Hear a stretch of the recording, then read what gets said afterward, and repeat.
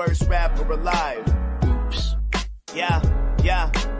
Big Mac's back on the mic like oops. Back on the horse, still jumping through hoops. Missing Lincoln Pink, I don't lip sync. Just to be clear, choking isn't my kink, but I do it anyway sometimes, I guess. Gotta laugh now, die later in my times of stress. I'm blessed, feeling good, charged up like a Hadouken. Si. Welcome to the worst wrestling podcast. I am your host, Jack Lucenay. As always, guys, you can find us every Saturday at 4:20 p.m. Eastern Standard Time, exclusively on YouTube and Spotify. This is a comedy fueled grassroots fan driven wrestling podcast, and we want to be the Santino Marella of wrestling podcast, king of the jobbers. So, to do that, I need you guys' help. I want to hear from you.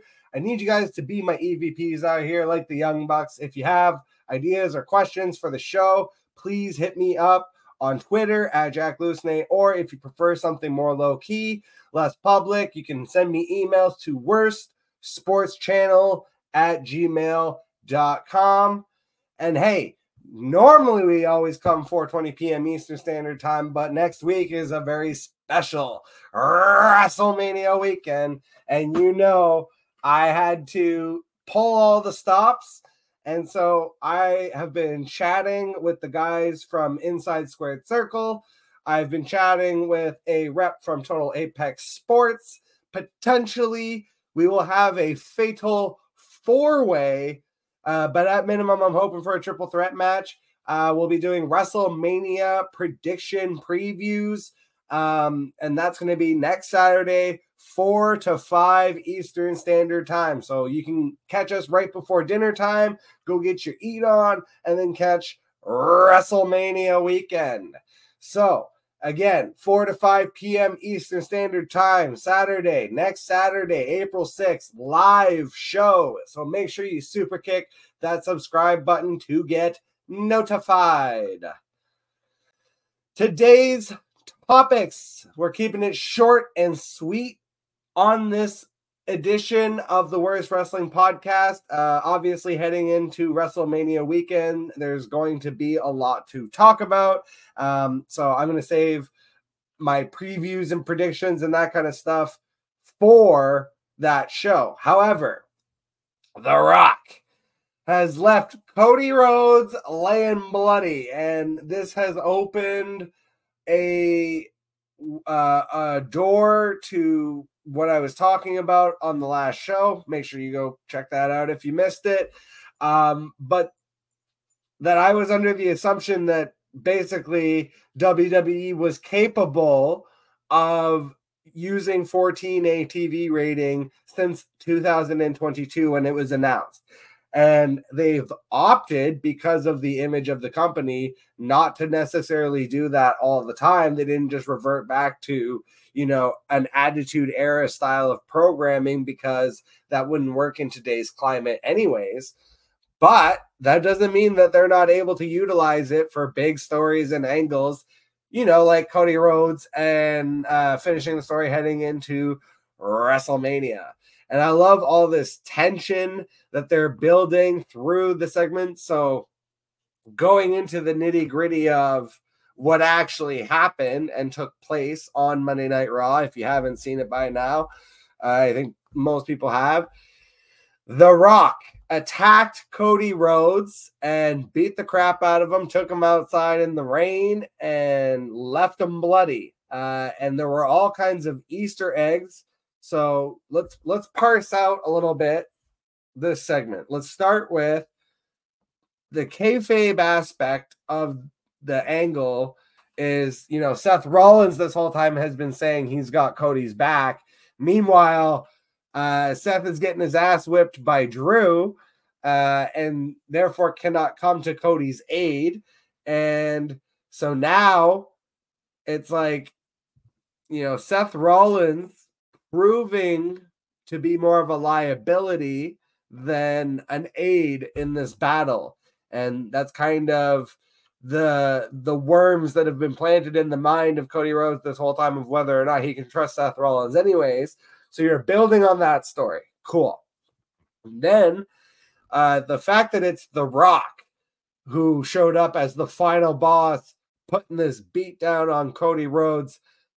I love it for two reasons. One, you're amplifying night one and the meaning of night one.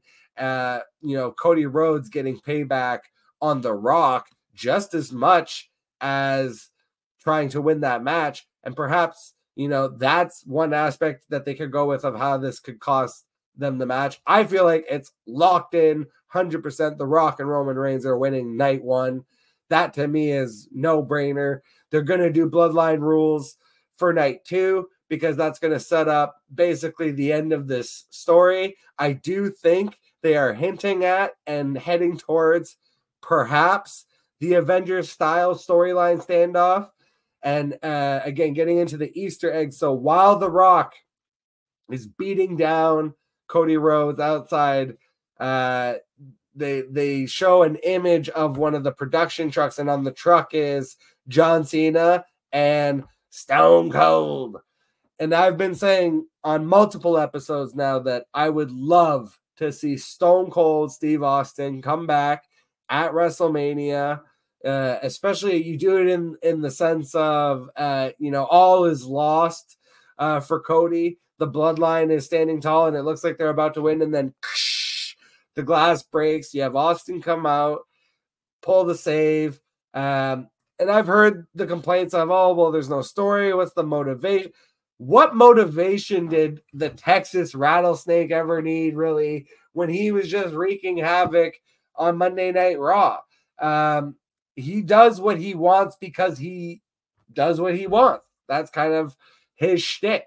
So I I think yes, and you know potentially involved. I don't know really for sure who's going to be showing up at WrestleMania in that regard, or 100 percent if they're even going to go with like the true Avengers standoff style story here. But however it sets up, it's exciting. It is very exciting right now to be a wrestling fan. The Rock has said it over and over in his promos. So there's that aspect of it, uh, sticking kind of with the kayfabe and the Easter eggs and what's potentially happening. But the thing I wanted to also comment on is, you know, the behind the scenes, obviously, of, uh, and, you know, Dave Meltzer continuing to die on this hill that, while the rest of the superstars have been kind of given a no swear order, but like The Rock can do whatever he wants because he's The Rock and that exists in every aspect of business and culture. And yes, to a degree, that's true. But at the same time, lots of the other superstars, top superstars, have been, you know, kind of pushing the envelope as of late. Uh, and I think it absolutely has to do with Triple H and the production crew and the kind of the style and angle that they're going with and especially you know around a WrestleMania season being able to push that envelope even a little bit further than you normally would because I think everybody understands universally this is like their Super Bowl. So, you know, I am of the opinion that like I said, it's a TV 14A rating, but I think they are managing how and when they use that rating, and they're doing it very effectively right now, where they can shock you with a segment like The Rock beating up Cody Rhodes and leaving him bloody. And then, even if you saw, like, you were absolutely getting worked if you saw the after they went off the air stuff of The Rock and it's still filming of The Rock being like, I don't care if we went off air, it's still whipping Cody's ass. That is 1000 million percent a work you know? So like if you're watching that and in any way think that's shaped or molded on reality like i'm sorry i got news for you because that's the way that they are kind of creating doubt and by creating doubt in this day and age you create kayfabe in a sense so it's really just you know uh, for the really uh, smart marks out there, I think they're going to realize that this is just great ring psychology. But again, it all goes back to letting the performers perform. And it kind of leads it kind of leads perfectly into the next segment, which was the segment that preceded all of this uh, earlier in the show, which was uh, Drew McIntyre, CM Punk, and Seth Rollins in a promo standoff. And look, it wasn't, I'm not saying this was like the greatest promo ever or anything. I don't feel like any one of them truly hit the mark 100%. I think they all got it 80 to 90%, which is great because somebody sometime when they hit 100% it's going to mean that much more when it's you understand that it's coming from a place of improv. And again this return to the days of kind of unscripted bullet point style promos that is 100% to me has to be Triple H's influence um the aspect of letting the wrestlers be wrestlers. Like, obviously, I love that. And traditionally, that's what wrestling has always been. Um, it's not going out there and reading a script like it's reality TV. It's improv, it's athletic theater at its finest. And part of that is, again, essentially doing what I'm doing right now on this podcast. Uh, I don't have a script here. I know I'm I keep looking this way because I can't help but look at like the image that's projected on the screen. And yes, I have my bullet points here, but as far as like a show dog, what I do is Muppet work. But essentially, that's kind of you take that and you turn it into you know uh, a monologue a promo a podcast whatever. Um, that's the art of doing entertainment essentially. Uh, so uh, i really i'm i'm so glad that they are getting a further and further removed and away from kind of that late stage vince mcmahon era of the overabundance of kind of reality tv shtick that we were getting and you know getting more back to kind of a traditionalist uh, version of professional wrestling and sports entertainment. And it's still very much like I think again, what I love about Triple H's mentality is he understands, however, the other side of it of what you're doing actually in the ring as far as like the moves and stuff is like one of the smallest parts of professional wrestling. Um how and why and when you implement those moves and how and why and when you connect with the crowd and your promo work and all the stuff they do on the back end in terms of like the travel and the appearances and the charity work and blah, blah, blah. that is all 90% of it and then you know that's the the part of the iceberg that we don't see and then just that little tippy top that 10% that's the on-screen product. So, you know, when you have all of that already in play, having to just like memorize these like stupid ass bullshit scripts, like no, that I think everybody could see through that, and that's why the product honestly suffered for a long time, and and we're uh, you know, Triple H was doing. And again, when you have a guy like CM Punk and Seth Rollins, uh, who, you know, I don't really like Seth Rollins as a babyface. I'll be perfectly honest about that. He is an exceptional heel. He's honestly, to me, one of the best heels of all time when he is actually cast in that role. Um, and then CM Punk, obviously amazing on the mic, and Drew McIntyre, so underrated as well. Uh, so, and I've loved his his run as a heel. So again, the return to the days of unscripted bullet point style promos and letting the wrestlers perform, which is literally what you hired them to do. It's like you're just letting them do their job. Jade Cargill has finally debuted for WWE, and it was it was in monstrous fashion. It was uh, a storm coming, whatever you want to call it. It was fucking amazing.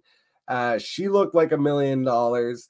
Uh, all this shit I've seen online on the IWC of like, oh, why did it take seven months? And what would they had her? Tra- what did we learn? And but, but, but literally what I was talking about in the previous segment of the actual in-ring product when you are a WWE superstar is like the tip of the iceberg, and there is a whole world of back end production and you know stage running and travel and just everything that is not comparable even to what AEW does. Uh, that I think you know there is definitely a learning curve, and beyond that, obviously, why would you just debut her randomly like? Oh, let me when you could just wait and have her debut be at WrestleMania. That makes way more sense. So yeah, they signed her and they had her you know, I think it's great that she's been able to kind of learn more of the back end stuff, get to know people, do all of that stuff, um, get more comfortable within the company, especially with some of the people that she's going to be potentially working with. Like, I think all of that's great. So I don't, I didn't see any reason to rush her debut. Uh, I'm totally fine with the fact that this is like the first time we've really seen her. The entrance was fucking awesome. Uh, and then, you know, uh, her performance I thought was great. Obviously, the girls uh, selling for her, and when I say girls, I should say women. I apologize. Uh, you know, Dakota Kai and uh, Iyo Sky and um, Kairi Sane and Asuka, just like again making her look like a million dollars, and uh, at the end having her stand tall with Bianca and Naomi, I thought was fantastic. And the internet, such as it is, uh, it's so funny how like you can get the two completely reverse opposite perspectives back to back. And so I'm going through my feed. I'll bring it up here. I'll bring up the picture. Mr. Uncle Howdy here. Uh, are we finally noticing a theme here, or is it still somehow not obvious yet? This is being hella lazy uh, isn't even the worst part about it. Oh, this being hella lazy isn't even the worst part about it. Sorry. And then again, it's like, okay, fine. That's your perspective. And then literally, the person right after representation is so important. The impact that the visual of seeing Bianca, Naomi, and Jay together in the ring as the final segment for SmackDown is unprecedented. Moments like this is transformative for young people like my students in TWC. I can't wait to show them. And that's the one that I really want to highlight because too often, uh, you know, we highlight the negative and not the positive. And I'm going to ignore Uncle Howdy. What I really want to talk about is the perspective of um, at Wallflower Perry, who uh, made that post and hosts TWC, which is the wrestling club, is a wrestling club based out of New York City, uh, where kids get to go and like watch wrestling. And they, you know, I'm I'm not super familiar with it. I know I've seen uh, some of the videos online of them like watching and reacting to wrestling matches. But like that's just such a fucking awesome thing to be doing and to be representing. And you know, uh, again, that's why WWE does things the way they do. And yes, having three black women uh, standing strong at the end of the show that you can point and say, well, oh, well, they just, you know, again, even that is so recidivist and stupid because, uh, you know, you're acting like black culture is one culture when it's like you're talking about like lots of different cultures. So again, I'm not going to get into the whole fucking debate. It's stupid, anyways. Um, but I just wanted to really shout out again at Wallflower Perry. Uh, you probably are following them already if you're following me, but if not, make sure you go drop them a follow because uh, they're pretty fucking awesome. And last thing uh, today, again, I said I was keeping it really short um, today, so probably going to be even sub 30 minutes, so you'll be able to get in and out of today's episode. And again, just make sure that you please subscribe uh, you know, hit that bell, do all the algorithm stupid shit because next week we're going live, four to five, baby, four to five p.m. Eastern Standard Time, live uh, with a couple friends. Uh, we're going to be doing predictions and previews for WrestleMania 40. Um, but yeah, getting away from the WWE, wanted to talk about one of my absolute favorite superstars of all time, Bryan Danielson, aka Daniel Bryan, aka the American Dragon.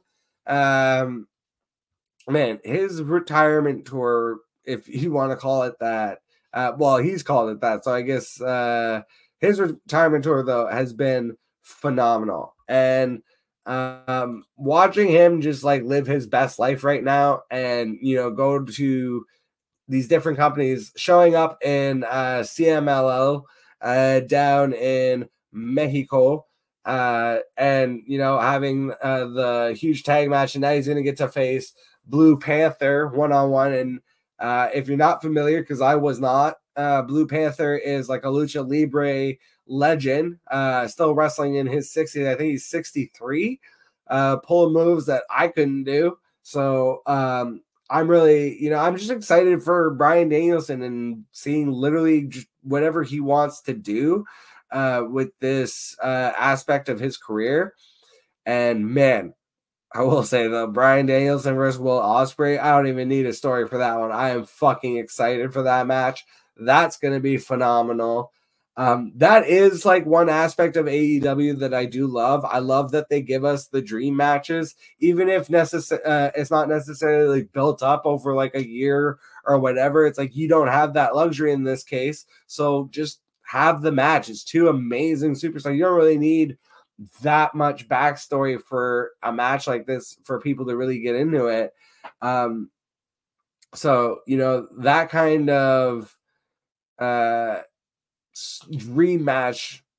You know, again, I I just I love that aspect of AEW, but getting back to uh Bryan Danielson, um, basically uh, just wanted to show a little bit of appreciation because, uh, you know, I know like millions and millions of fans out there, I'm to really miss him when he is ultimately decides, uh, sorry, when he's ultimately gone and he decides to hang up his boots. But he's so underrated, honestly, on the mic. Like, I, and loves the business so much. I would love to see him come back uh, in another uh, aspect or role, especially like on commentary. I think Daniel uh, Bryan Danielson on commentary would be like fucking amazing for like a post career um, if you wanted to do that.